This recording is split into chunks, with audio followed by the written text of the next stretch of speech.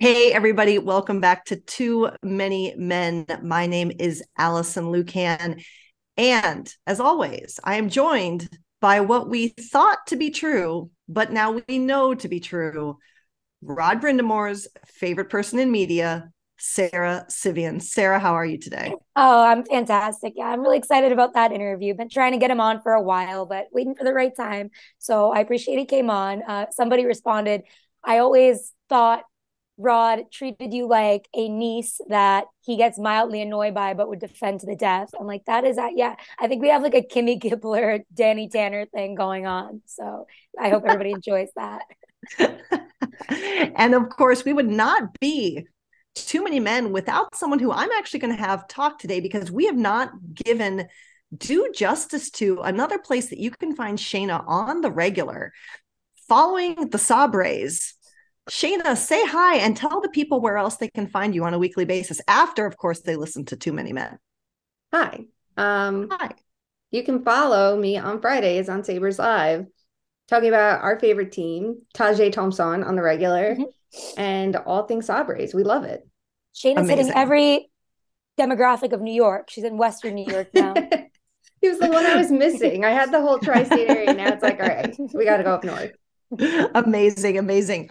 Well, friends, as I hinted at the top, uh, and if you've been following us on social, which you should already be doing at two underscore much underscore man on both the Twitters and the Instagram, we are going to feature a very wonderful interview with Carolina Hurricanes head coach Rod Brind'Amour here in a second. But before we get there, we do, of course, have Sara's favorite segment. Sara. Bit O News. Leprechaun free Bit O News today. Sponsored by Big pot of gold. so we had some scheduled things, but Shayna, you had something in the chat. We started to talk about it before the show. There was an open to a game yesterday that you found particularly entertaining. Talk the people through it and why you liked it. I was watching the Oilers Canadiens game because I need a little bit of America's team before the Super Bowl. I really need not so not America. the Kraken into the holiday I just, spirit. I, I had the Kraken game on. No, okay, no. Thank you. Okay. And okay, by good. the way, speaking of the Kraken game, I'm watching it yesterday like this, and my sister's over and she's like, I love Alison's jumpsuit. And they, you know, like show your shoes. She's like, the yellow shoes. Two minutes later, Rich walks in. He's like, I really like Alison's outfit. like, yeah, it's really good, right? Mister, I never noticed anyone's outfit. So yeah, we were watching. Well, thank um, you. Okay, back to your story. I apologize. It's fine. This is why we have multiple TVs. I need to watch all the games at once. Um, the open from Gene Principe had a lot of puns and it was very cute. And I I watched it and I was like, Alison would appreciate that. Did it get a full laugh out of me? No, because I have a horrible sense of humor. Like I'm someone like will watch something funny and like Rich will at me and be like, why aren't you laughing? And I just like I smiled. That's the best you're gonna get from me. So it's not like I'm giving him his due and I don't give you yours. Let the record show. But I thought you would appreciate it. Sara, what were your thoughts on the Gene Principe pun heavy? It was Super Bowl puns, friends. If you weren't familiar with it, that was the open. It was a whole Super Bowl spread and lots of puns. Sara, your reaction to the Gene Principe open? I just, first of all, didn't really know what was happening. All of a sudden, he had all these props. I was laughing because it's like so Canadianly adorkable. You know, like it's a millennial phrase there, but that it was like adorkable. So I thought it was cute, especially I feel like he's stepping up his game after Connor McDavid called him out to us. So here's here's the thing, Sara. I appreciate that you appreciated it and thought I would appreciate it. However, the thing is, it was a little too like a pun can't be like in your face. It can't be like I'm eating a chip and a chip like you can't it can't be that yeah. like like yeah that's fair in your the face. only one like, that was smooth be... was the mustard one like if they can muster i was like there's that's a good one the rest were very that's right but you can't be like as you're putting mustard on a hot dog be like if they can muster like it has to be like I have to tell you, I had some some special work this week. I was covering the team during their trip in New York and New Jersey. And my title for the recap of the Rangers uh Kraken game, did you guys see what it was? No. Tell the tell the readers. Savage Garden. Oh. I like how proud you are of these. That's the best part. They're very smooth and I like I you know we talk about it all, all the time like I like seeing them happen in real time yes. but it's just like I love how proud you are of the puns like it really is your calling you're more that's all I have you're more talented than just reading a spreadsheet who knew I only do game. data. I only do data. That's all I do. Anyway, so that was the beginning of our Bit O News. We have real hockey related Bit O News friends. Um, unfortunately, not. Let's start. Should we start with the good or the bad? Sara, you get to pick. Let's get the bad out of the way. Okay, there's there's a little there's quite a bit of bad. Um, so first, um, Anton Forsberg, goaltender with the Ottawa Senators. Um, I still haven't seen the hit. I've had someone explain it to me, and I don't think I want to see it. Uh, took a hit and was is was ruled out with MCL tears. My understanding is he had to be helped off the ice, couldn't even get off the ice under his own power, uh, was pushed backwards while in the butterfly position. Out, the initial report was indefinitely with MCL tears in both knees, which is insane and sounds terrible. Until today, uh, Bruce Garrioch is reporting that Anton Forsberg's recovery period is two to three months and doesn't require surgery. I sent this to the you with simply the word how. Uh, Shayna, your thoughts? How? How is it good? How? Is is the only thing like so? I watched that and he was in a lot of pain. You could see like immediately, and I was like, wow, he definitely screwed up like something in his leg. You know, that could be season ending. Like right there, that could be more than season ending. The way like based on his reaction, did I think it was both knees?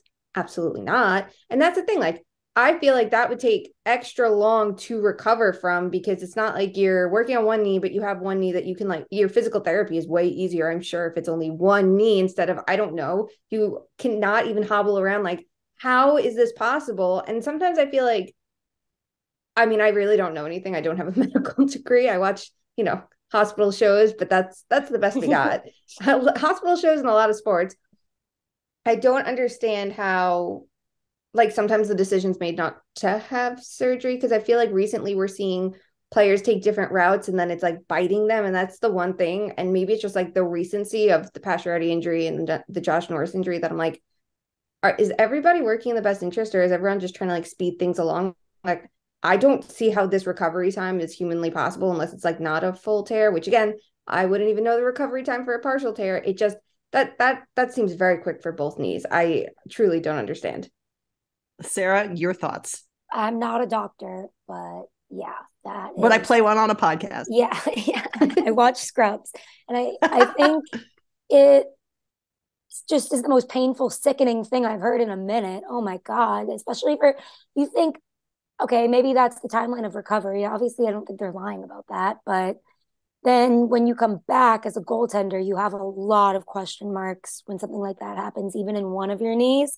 So we'll be watching. Hopefully, he makes a 100% recovery. But even if he does recover, he doesn't need surgery. So when he rehabs that, it might be a little touch and go, but wishing the best for him. Yeah, and I, if I may, I, I particularly wish. I know we all wish the best for him, but Anton Forsberg, people may not know or remember this, was originally neck and neck with Joonas Korpisalo in Columbus to be the successor to Sergei Bobrovsky. And Sergei Bobrovsky went down with injury during what turned out to be Forsberg's last year in Columbus, and they were vying for who could carry the starter's burden. This was Korpisalo and Forsberg while Bob was out with injury. And it was actually in Carolina, Sara, mm-hmm. and Forsberg got the start and did not have a great outing and you could just see his confidence completely shut down. And that was like a real drop off in his career. And so I think it's really awesome to have seen that he's battled back and had this renaissance in Ottawa and has been playing so well. So uh, definitely well wishes um, for his full health and continued success in the league. I think it's a pretty cool um, story altogether. Um, next up, not good news. Um, Andre Burakovsky for the Seattle Kraken, um, who had missed one game prior to the All Star break, um, ironically against his former team, the Colorado Avalanche. Um, for undisclosed reasons, uh, came back after the break and in his first shift on the island, pulled up with a non contact injury um, and is now out week to week on IR lower body. We do not know what the injury is, but obviously, when it's something non contact, um, that doesn't look great and that can cause concern. Um, he's been the leading point scorer for the Seattle Kraken and has been a big part of their success this season. Shayna, how do the Kraken recover from this? What do you see in their short term future with Burakovsky out? This is a really tough one for them. Like First of all, that's horrible for him. The non-contact injuries are so bad to see because like you just like every time you see that you know it's not good. So hopefully, you know, it's a smooth speedy recovery for him as well. Um it's interesting because like the Kraken, what did they need? Goal scoring. They went out, they got it. Now here it is. They lose it. I guess if you're gonna lose they lose it, it. They lost it. Whatever. Oh God, I'm tired. I know. Super Bowl um, Monday should be a national holiday. Right. Um, but yeah, like I just feel like with him, it's like a test for the team. How do you get by without the goal scoring that you brought in to fix your problems? And if any time it's going to happen, it's like, well, pressure's on. You have a couple weeks to really figure that out. So I'm curious to see, like, you know, the whole year, how do, how does the team do it without all the star power? How do they do it with you know being greater than the sum of their parts? And they've managed really well is this what pushes them to go we need one more piece or is this what you know they can pull back a little bit and go well we really weren't planning for the playoffs just yet. We're not going to overspend right now. Like it's a really big like season defining couple of weeks now and they can really assess the team without him sara do you think the kraken survive this near term without burakovsky? Can they get through it? Yeah. Yeah they'll be fine but you hate to see it but i'm sure he'll be back for the playoffs Hopefully, indeed, we wish him well. Uh, depending on which side you're on, this maybe is neutral news. Um, we have one hoped for trade and one actual trade. Uh, first up, Vladimir Tarasenko was traded to the Rangers and then promptly scored the first goal of the game against your Seattle Kraken, which was so fun. Um, in exchange for uh, with uh, the defender Mikkola, in exchange for Blais, uh, a conditional first, fourth, and Hunter Skinner. Um, we have seen the Rangers just on fire since this transaction. The energy seems good, the vibes seem good. They have two wins um, both at home over the Kraken and on the road over Carolina. Artemi Panarin with a hat trick in Carolina. Shayna, you're very familiar with this Rangers squad. She broke the news. Is this the? She did break the news. My and God, she's we, a, she's all insider. Can we talk for one minute? Sorry to derail this. We can Do get it. back to Go. it. But how Go. mad people were randomly getting when I simply I wasn't saying don't give other people. I felt bad for even tweeting it after this, but I was just like, hey, can we acknowledge that Shayna isn't a typical insider, but keeps breaking news about one of the hardest teams to crack. And people were like, she didn't have it. I'm like, yes. First of all, yes, she did. Second of all, what the hell is wrong with you? Like, even like established people were like, at the Golden Muzzy had it. I'm like, yeah, he had one thing. First right. of all, I haven't blocked for I don't even know why. So I don't know what he did to me, but I guess we're beefing.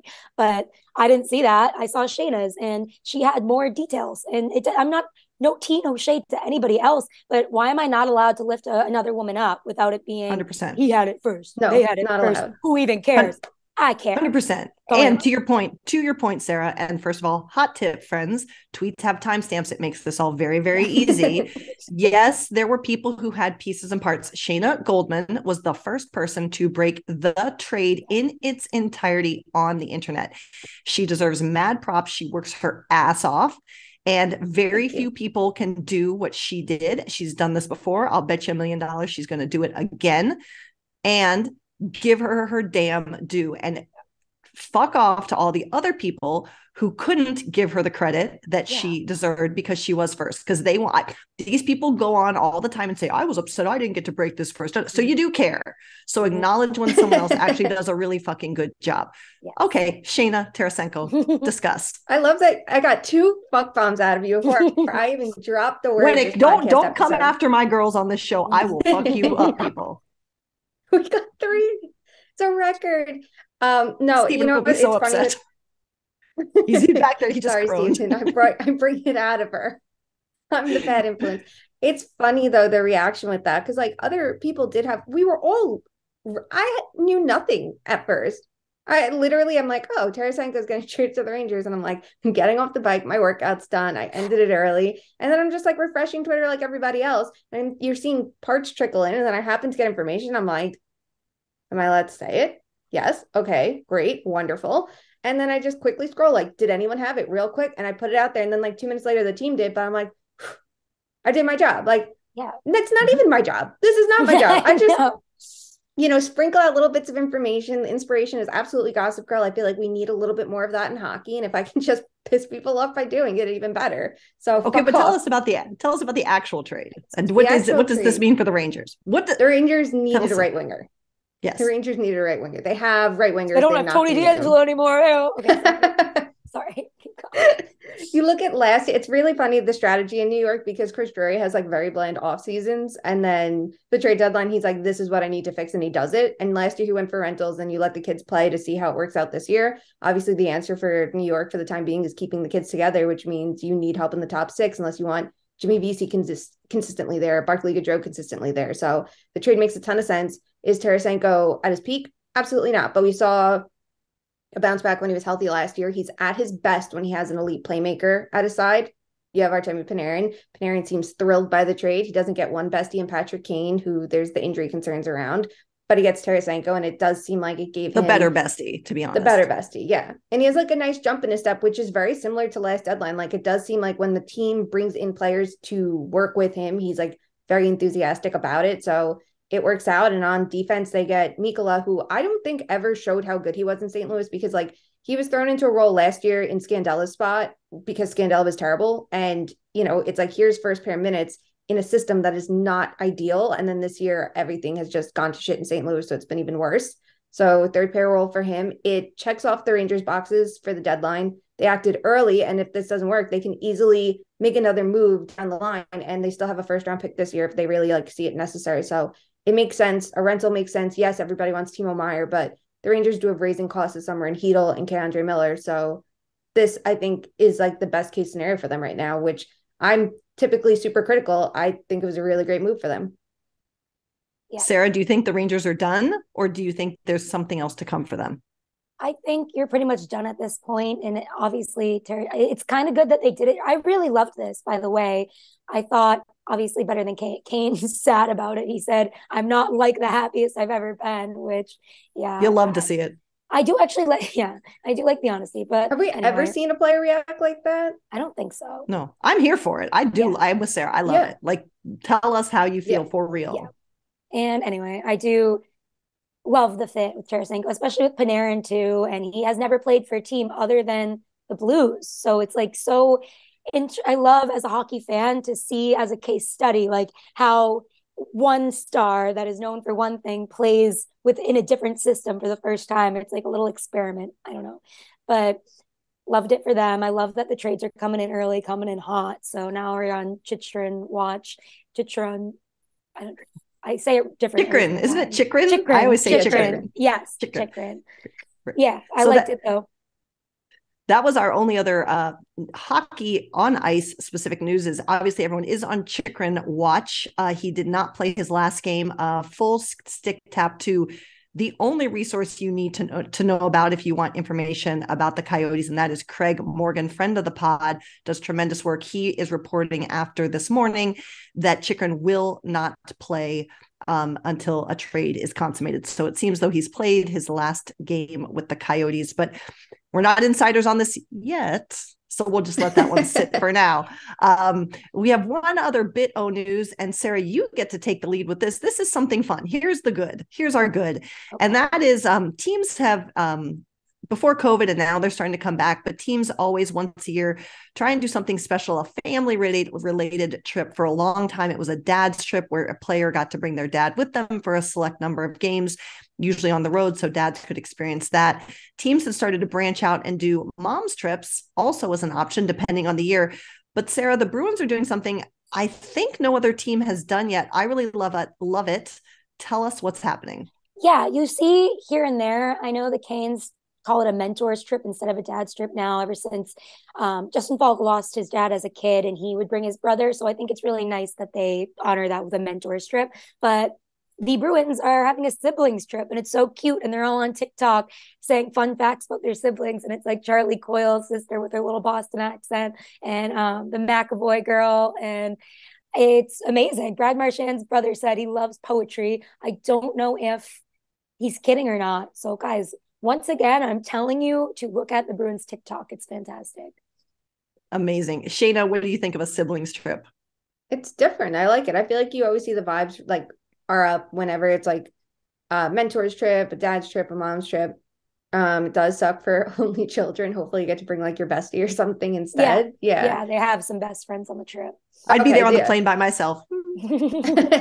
but it's kind of fun too because like you're gonna have a lot of players who are like the players are in similar age ranges to a lot of the siblings, I'm sure. So I feel like that kind of like adds a different twist to it like when they're going out afterwards and it's just like a different experience so i wonder if other teams take note and just keep expanding it and you know like have some fun with it it seems like boston's been really good at like keeping the vibes up within the locker room despite management's efforts so nice to see this uh this is a good call from above my my yeah. friend's brother plays for the Bruins, but is now on Providence. And he's like, Oh, I wanted to go to Dallas and Nashville. So he's like, kind of pissed about it, but that's funny. Oh, the games are Dallas and Nashville. Nashville yeah. is just a solid call for this. What a good yeah. vibe. That's a gift. I feel like a lot of teams do Nashville too for like the trips. Mm-hmm. I feel like it, it's worked out that way. I wonder if it's on purpose.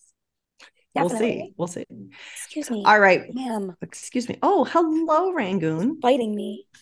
Hello, okay. Rangoon. We love Bye. Rangoon. Okay.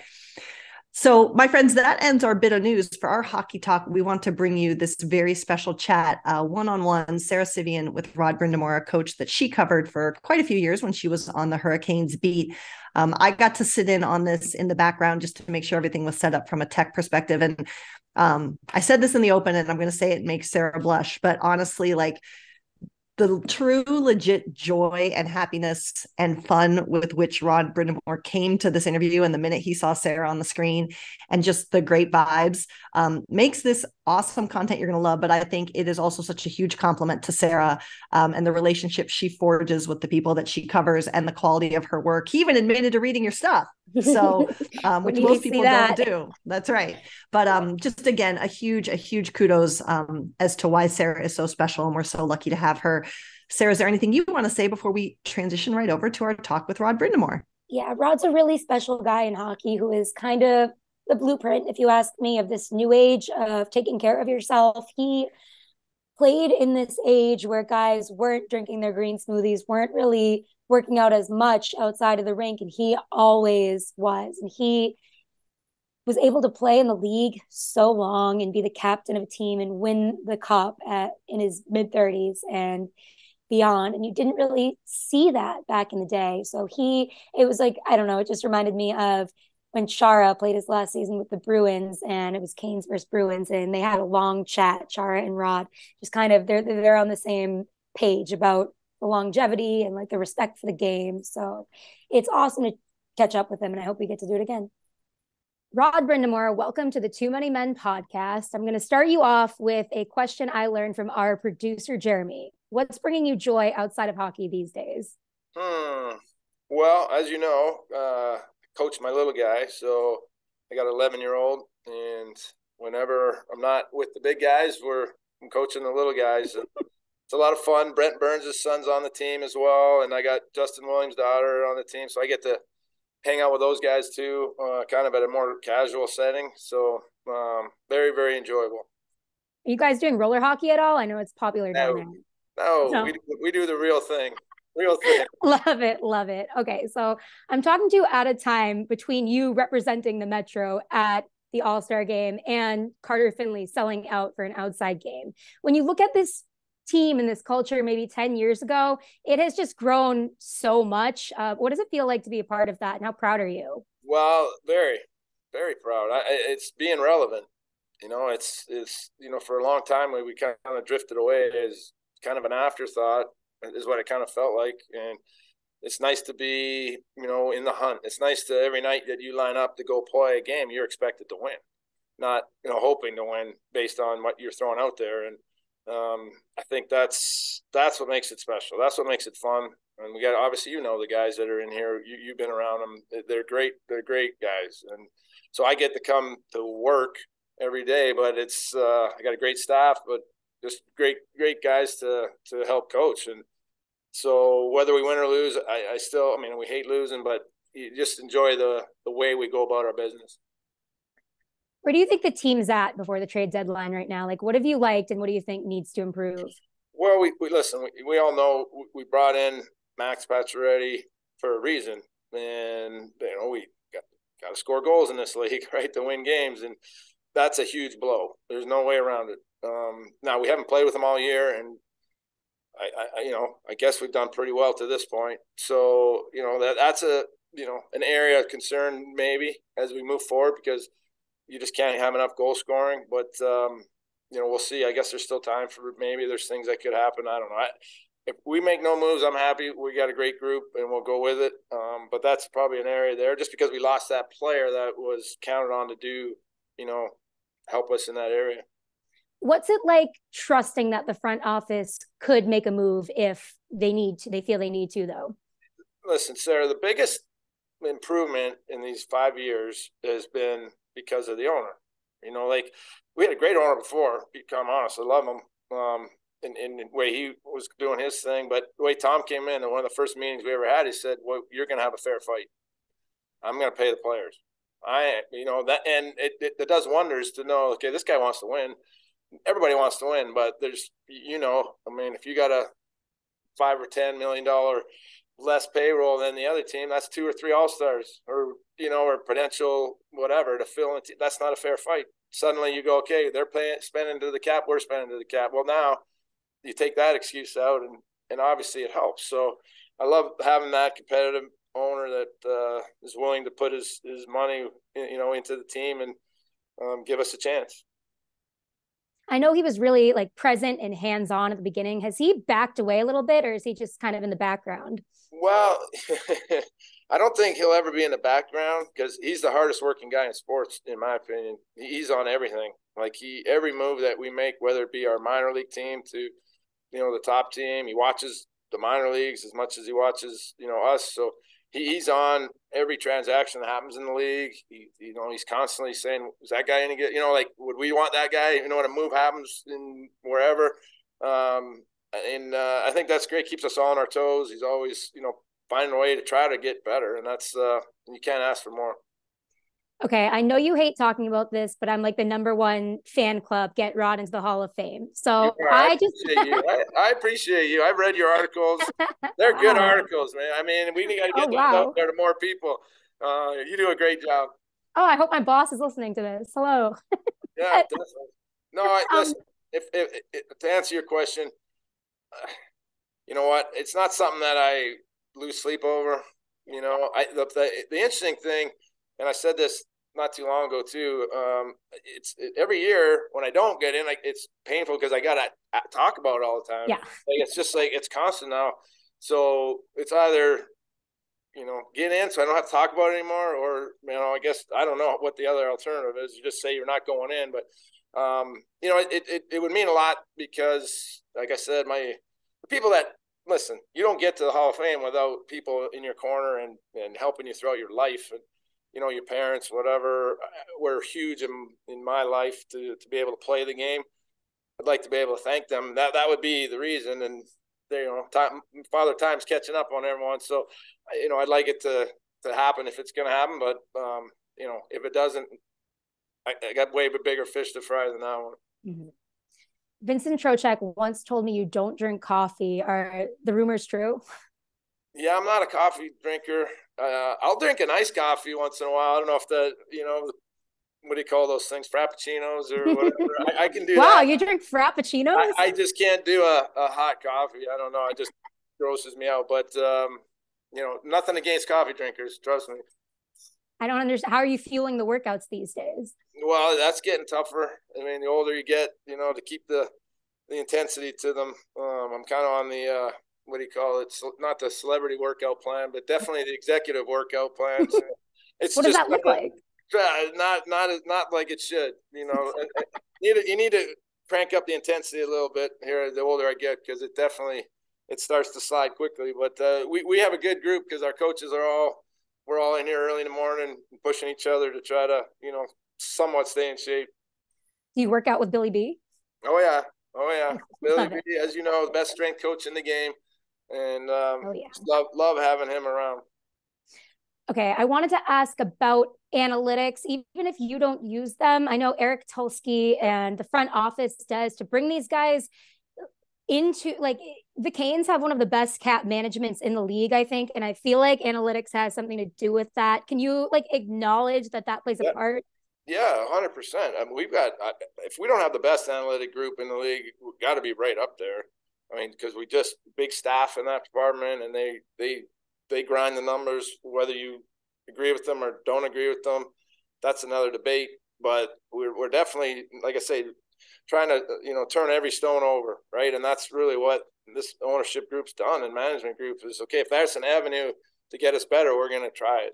Now, does it translate down onto the ice and this and that? Eh, that's debatable on how you use it and you know whatever. But um, it's again, it's, it's a tool, and we're definitely we're definitely on it. We probably have you know you mentioned Eric, his staff. It's it's got to be one of the best for sure. Um, I wanted to ask about Tripp Tracy. I know that people have this idea of him, right? He's this hilarious guy and everybody loves him, but you guys have had such a close relationship and it's kind of unlikely. I don't know. I feel like when you get to know him, he is just the best guy in the world. So I like he's kicking ass now. He's doing yeah. awesome this year. I wanted to know how you felt about yeah. that. Well, you kind of just said it right in all the things you just said about him. Uh, you know, he's uh, well, he's been a friend first and foremost for 23 years. You know, since day one of me getting here, where you know I'm a little older, but not much, and we've you know shared a lot of ups and downs together. And um, like at the end of the day, you know him very well. He just got a great heart, you know. And I think you can't help but care for people like that and want to be around them. And you know, he's got his quirks. Listen, he says a lot of things that uh, you know you, you I laugh at, but we, we he's a good dude at the end of the day because he cares about people, and um, that's why he's special what's something the outside world doesn't know about the Caniacs that they should know? that they know about us, golly, I think we're we're no longer a secret.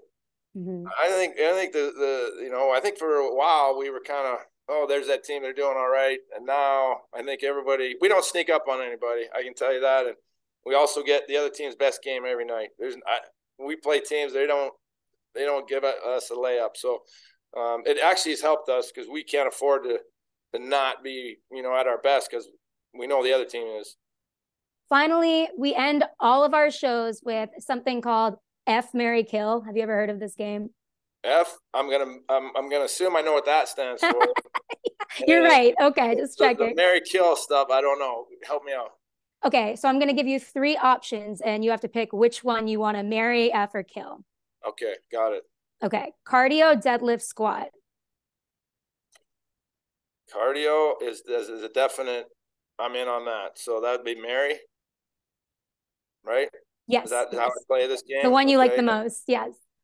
And then, what did you say the next one was? Um, deadlifts. No, kill no. that. I'm too. I'm too old for that. So I am too. or actually, f that as the better way to put that. that just that's an injury waiting to happen right there. Um, and then you said what squats? Yes. That's kind of the same thing. I'll I'll put actually. I mean, I do those, but very differently. Uh, not a lot of weight on it. So what's Mary? I guess I, would marry that. Okay, that's fair. All right, Rod. Thank you so much for your time and. Thanks so much. Good, good luck to the Canes. Yeah, always. We'll catch right. up later in the season. Thanks. Catch you. See ya. Yeah. All right, everyone. Well, we hope that you enjoyed that interview as much as we all did. Shayna, what was your favorite part? I just like the it's what you mentioned before. It's like the overall enthusiasm that Rod Brind'Amour had because you can see it immediately, like the appreciation he has for Sara. And oh, I'm sorry, my cat is attacking me. I'm so sorry. Hey, she doesn't appreciate you like Hunt does. okay. Sorry, go on. Uh, sorry, go on praising me. yeah. Please. I think, you know what? I think it's funny because, like, look, it's the three of us on this podcast, and I feel like people have us all kind of like narrowed down for like certain things. Like, you have two people who only work in data, you have someone who only knew the Canes or only knows stuff. Like, and I don't think it's like the credit is given where it's due. Like, and I think the All Star game gave a good chance to show it. And I think this does too, because like, here's a relationship you have with a coach. You always asked really good questions that you could see he appreciated in the press conference. And here's like a good way on a national scale to show it too. Like it's not just if you're watching the Canes post game or happen to catch a clip, like you can see it's it's an important part of being in this industry is having good relationships and you know being a respectable person too you know and treating the coach who you're interviewing like he's a person and you do that. So i think that gets very well appreciated. Thank you shane. I, I love how we have like a former Stanley Cup champion on our show and current NHL co- coach, and all we're talking about is how great Sara is, as it should be, no. as it As should no, be. I love As it Rod. Too many men get compliments all the time. That's right. He This was is true. wonderful. He, He was, was He was a great wonderful. Was sport. I was gassing him up too. He was wonderful. Well, in the spirit of having Rod Brind'Amour, we three, this is going to be something, are going to do the same fuck Mary Kill that we had Rod Brind'Amour just do and for your listening pleasure. Um, Shayna, you get to go first. Oh, great. Fuck Mary Kill squats. And, and we do know Rod didn't necessarily understand the game and just he did his own thing, but more power to him. We have to follow the rules. Shayna, fuck Mary Kill squats, deadlifts, or cardio. Go.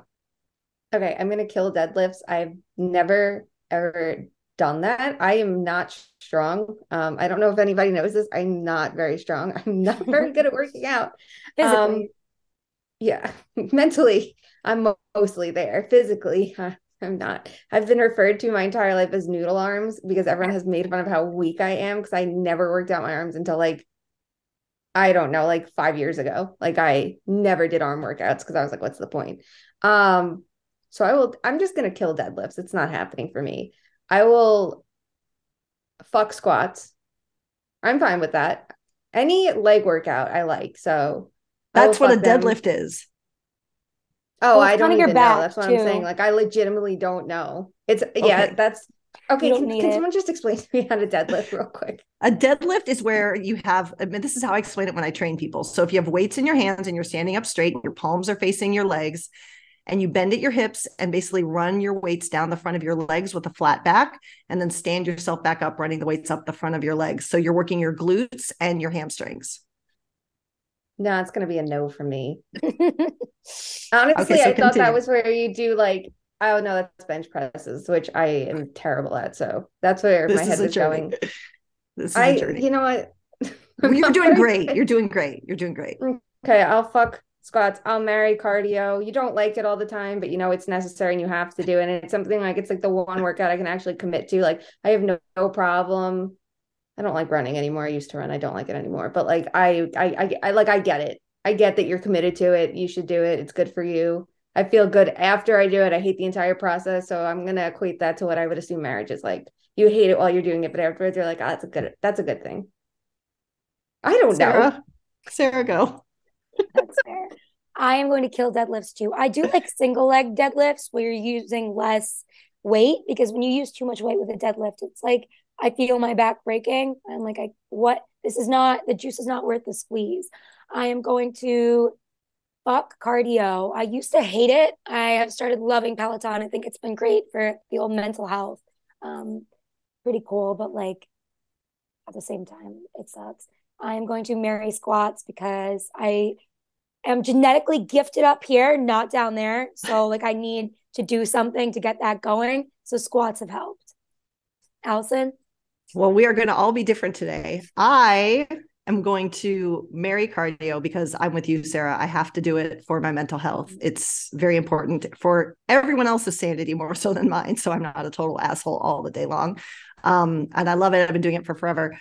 I am going to fuck deadlifts because I love deadlifts. And fun fact, Sara, work on your keeping your back nice and flat because the heavier you go on a deadlift, it's actually easier Oh, to to do the move. So um I I love a deadlift. I'll do a deadlift all day every day. I love it. Um and I'm going to kill squats because I hate them with a passion that is purple. I hate them so much. Um they're awful. So every version of them anytime they're in a workout that I'm doing for someone I'm like, "Well, you do them. I'm not going to do them. you do them. I'll just I'm here to watch and train." So um yeah, there you go. That is I, I need fuck. you to like give us. I need a workout routine that's not going to kill me from you, and I also need the full training on how to actually do things because I don't have that anymore. Working out with too many men. It'll be a new side ventures for There us. we Yes, exactly. Exactly. We'll replace Peloton. We're taking over the world. Too many Can we have Pelotons. like an is the '80s next. vibe to what we wear? Oh yeah. Oh, I think that's 100%. you know it. You know I'm gonna pull out the Vipers again. Abs- oh, they are elite. They are elite. And the Um, all right. windbreaker. We Oh, the need windbreakers. The windbreakers are important. The leg warmers. All stuff I have in my closet normally. I'm ready for this. And the blue feather top. That was that I loved. I love, It'll be an love it. interesting workout. All right, my friends. Well, that brings this episode to a close. We're going to have a meaty, all news, all hockey episode for you later this week on Thursday. But guess what? We have another fun, special surprise interview coming your way next week, and we can't wait to share that with you as well. Until then, please be sure to be following us on so- the socials. As I mentioned, we are at two underscore much underscore man on both Instagram and Twitter. You can follow us, you can give us your feedback, you can submit your fuck Mary kills, you can buy the merch, friends. And boy, did we wait to tell you this. If you didn't see online, here's what happens when the three of us actually have a down day. We start getting way too creative. We not only have too many men notebooks and baseball caps and Apple Watch bands we have a too many men burn book. I couldn't order all three of those things fast enough. so check that out. Give us your monies. Remember, we don't keep it, we use it to give it back to organizations that we can help. Uh, do what we're going to sign off asking you to do, and that is a little bit to help make sure that hockey is for everyone every single day. We'll talk to y'all soon. Love you. Bye.